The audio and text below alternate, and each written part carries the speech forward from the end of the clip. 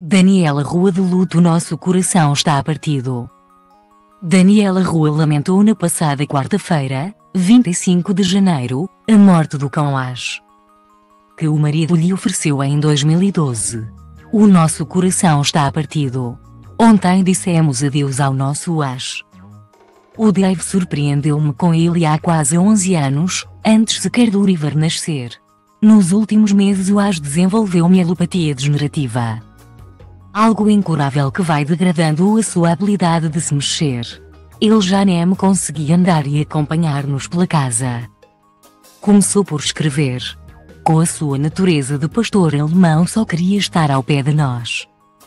De nos proteger, de se sentar conosco e de adormecer no quarto dos miúdos olhando por eles a noite toda.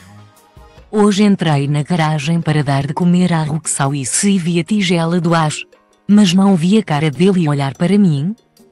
À espera dos nhanhamos com feijão verde, acrescentou a atriz. Tenho saudades dele. Temos saudades dele. O nosso Ash. Adoramos-te ainda agora, rematou.